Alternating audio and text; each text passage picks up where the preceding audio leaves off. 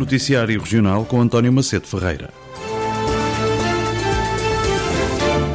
O Presidente da Assembleia Regional defende uma aposta crescente na produção de peixe em cativeiro. Nas Jornadas Madeira 2020, no Estreito de Câmara de Lobos, iniciativa do JM, subordinada à temática da agricultura e pescas, Manuel Rodrigues apontou caminhos para melhorar a atividade da pesca na região, entre eles o crescimento da piscicultura. É crucial concluir a modernização das lotas da região que está a ser realizada, valorizar toda a fileira, desde a produção à comercialização, renovar a frota do peixe espada preto e melhorar a frota do atum, formar novos profissionais para este setor, valorizar igualmente a qualidade do nosso peixe através da certificação, designadamente para o seu uso na alta gastronomia, desenvolver o aproveitamento dos derivados piscícolas, reforçar a capacidade de armazenamento e de conservação em gelo do pescado, apoiar o surgimento de pequenas conserveiras que permitam escoar o peixe à altura de grandes capturas, manter se possível, aumentar as nossas cotas de pescado, certificando as nossas artes de pesca artesanais, fazer crescer a aquicultura, uma tendência que é mundial, mas com respeito pelos ecossistemas costeiros e a qualidade das águas, e explorar racionalmente os novos bancos e espécies de peixe e marisco detectadas nas investigações científicas realizadas nos nossos mares. O Presidente da Assembleia realçou também a importância da agricultura, além da pesca, não só no que representam em termos de emprego, onde trabalham cerca de 18.500 pessoas, como também na necessidade da região de ser autossuficiente ou ter autossuficiência alimentar para estar mais bem preparada para situações de risco. O confinamento e o isolamento da ilha face ao exterior, se serviram para alguma coisa de positivo, foi para demonstrar a necessidade de a região ter reservas alimentares e de outro tipo de produtos que permitam garantir o abastecimento público em caso de emergência ou de calamidade, como aquela que passamos e cujas consequências estão a ser brutais para a nossa economia e para o nível de vida de muitos madeirenses. O alerta de José Manuel Rodrigues, o presidente do Parlamento, que participou esta manhã numa conferência em Câmara de Lobos. José Manuel Rodrigues, que esteve também presente nesta conferência, eh, além do presidente da Coopesca, Francisco Silva, também o presidente da Associação de Jovens Agricultores da Madeira e do Porto Santo, Vítor Castro, e o presidente da Câmara de Câmara de Lobos, Pedro Coelho. Nas contas de ontem, a Madeira restou o novo caso positivo de Covid-19, totalizando 55 situações ativas e um total cumulativo de 112 casos confirmados. Em comunicado, o Instituto da Administração da Saúde hum, adianta que o novo caso é importado, proveniente de Lisboa e Val do Tejo, mencionando existirem outras sete situações que se encontram em estudo e decorrem as correspondentes investigações epidemiológicas. Também indica o, o IASUD que a Madeira mantém o total de 157 casos recuperados de Covid-19, restando hoje 55 casos ativos, dos quais 45 são importados e foram identificados no aeroporto da Madeira, e os restantes 10 são de transmissão local. Estas pessoas estão em quarentena, sendo que 28 estão em isolamento numa unidade hoteleira, 26 em alojamento próprio e um doente está internado na unidade de Covid-19 no Hospital Nélio Mendonça, no Funchal. Esta segunda-feira começa a primeira fase da campanha de vacinação contra a gripe para a época gripal 2020-2021. Esta primeira fase destina-se à vacinação de pessoas em contexto específico, profissionais de saúde, do próprio César Ram, profissionais e residentes ou utentes em estabelecimentos de resposta social, como por exemplo os lares, profissionais e utentes da rede de cuidados continuados integrados e também para as grávidas. A segunda fase só começa daqui a três semanas, a partir do dia 19 de outubro, para as pessoas dos grupos-alvo da vacinação não integradas na primeira fase, incluindo as pessoas com idade igual ou superior a 65 anos. As pessoas incluídas nos grupos-alvo da vacinação têm acesso gratuito à vacina. A campanha de vacinação, que começa habitualmente em 15 de outubro, inicia-se este ano mais cedo, com uma primeira fase para a qual há 350 mil vacinas disponíveis para todo o país. É um recorde no acesso ao ensino superior. Na primeira fase ficaram colocados 1.576 alunos da região, 239 esperam pela segunda oportunidade. A Universidade da Madeira acolhe o maior número, 618. O segundo maior grupo foram os colocados em Lisboa, 338. O Porto recebe 179 estudantes e Coimbra 135. Depois seguem-se Aveiro e Braga, com 40 alunos cada. Os cursos com maior procura foram os de Engenharia Informática, Gestão e Enfermagem e logo a seguir Desporto e Medicina. Contando com os alunos que vieram de fora, a Universidade da Madeira preencheu 658 das vagas, sobram 117 no país. Este ano, na primeira fase, existiam mais de 56.100 vagas e foram colocados quase 51 mil alunos, um aumento de quase 15% em relação ao ano passado.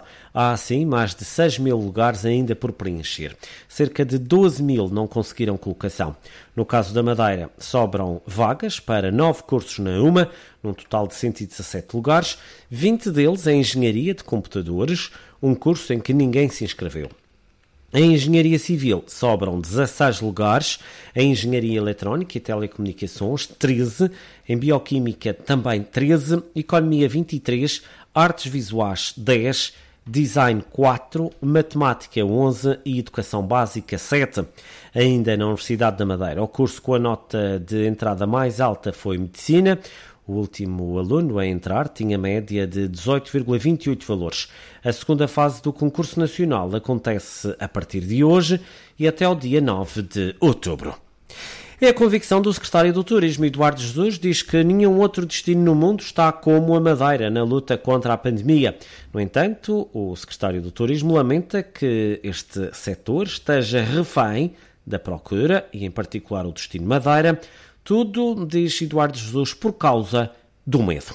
Nós temos uh, várias medidas que estão em prática, implementadas, a que as empresas podem recorrer para salvaguardar uh, esses mesmos postos de trabalho. A grande prioridade do Governo é apoiar empresas com esse pressuposto de salvaguardar os postos de trabalho. Uh, e temos vindo a acompanhar muito perto essa tendência. O sector está refém da procura e a procura está refém da confiança.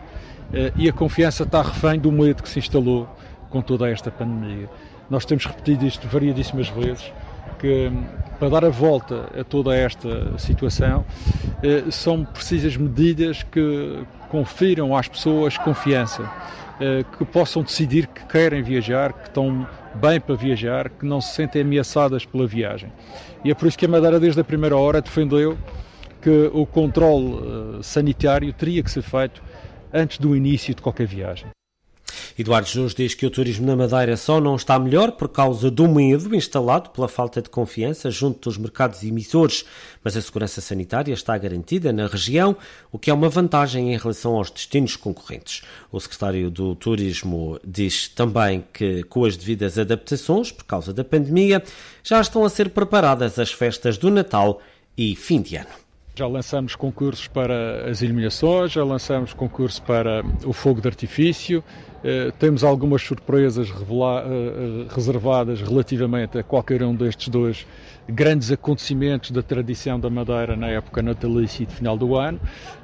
Vamos naturalmente promover uma série de cuidados que atendam às recomendações da Autoridade de Saúde Regional, com quem tivemos sempre a trabalhar para tornar possível esses, esses acontecimentos. Nós vamos ter a, habitual festa do fim do ano, começa de eh, Natal, que vai começar no início de dezembro. Uh, queremos ter o nosso mercadinho de Natal, uh, que vai responder outra vez a, todas estas orientações que neste momento se impõem. vamos ter animação na Praça do Povo, vamos ter, dentro do que é o habitual, eh, mas com devidas eh, adaptações a estas questões que eu, que eu referi ainda há pouco.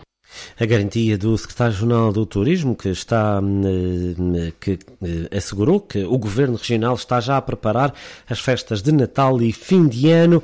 Eduardo Jesus, que também se referiu nestas declarações restadas ontem ao caso do Porto Santo, ao caso do mercado da Dinamarca, que cancelou, que cancelou a operação de inverno para a outra ilha.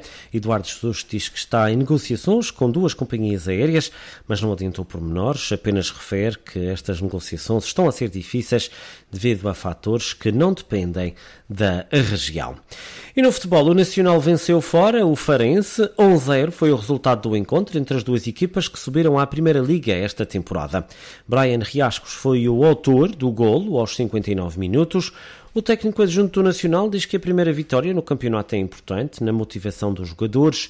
Para Carlos Simões, o Farense tem uma boa equipa, mas o Nacional mostrou mais qualidade. Em primeiro lugar, dar mais uma vez os parabéns aos jogadores do Nacional. Demonstraram uh, muita qualidade, soubemos defender quando foi preciso, soubemos atacar quando foi preciso. Uh, duas boas equipas, um jogo equilibrado, uma primeira parte onde podia ter havido golos. Uh, Lembro-me de duas ou três situações do Nacional e duas ou três situações também do Farense.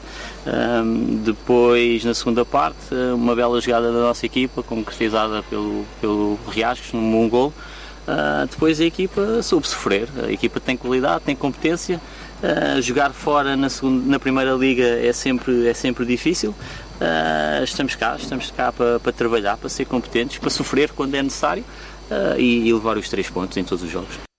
Uma vitória moralizadora. Do lado do Farense, o treinador diz que o resultado é injusto, o resultado do jogo, uma falha de todo desfaz. Sérgio Vieira considera que é preciso aprender com os erros e seguir em frente. Nós acabamos por, por ser penalizados mais uma vez por, por uma falha que nós não podemos cometer. Um, penso que em termos gerais é um resultado muito, muito ingrato, muito injusto, face àquilo que nós produzimos, um, mas saímos de cabeça levantada com a, com a mesma perspectiva que a evolução, evoluirmos, continuarmos a evoluir, aprendermos com os erros. Infelizmente, Uh, estamos nessa, nessa fase que é aprender com os erros que cometemos. Não era isso que nós queríamos, ehm, mas vamos continuar o nosso processo. Faltam 32 jogos, uh, o caminho é longo e difícil. Há equipas que começam bem e acabam muito mal, há outras que, acabam, que começam mal e acabam bem. Nós uh, vamos para todos os jogos com a mesma determinação, com a mesma confiança. Depois é, é corrigirmos as coisas que não correm bem e continuarmos determinados em fazer as coisas que fizemos bem no jogo anterior. Leituras diferentes sobre o jogo, realizado no estádio do Algarve. Apesar do resultado, o treinador do Farense mostrou-se satisfeito com o desempenho dos jogadores. O certo é que o Nacional somou três pontos, a que se junta ao empate da primeira jornada. O Nacional que tem quatro pontos na Primeira Liga de Futebol, mais um de resto que o Marítimo, que perdeu na primeira jornada. Recordo que no sábado passado o Marítimo venceu no Estádio dos Barreiros o Tondela por 2-1.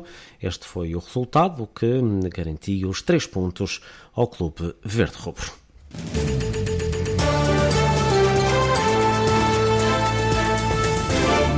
Toda a informação em www.dnoticias.pt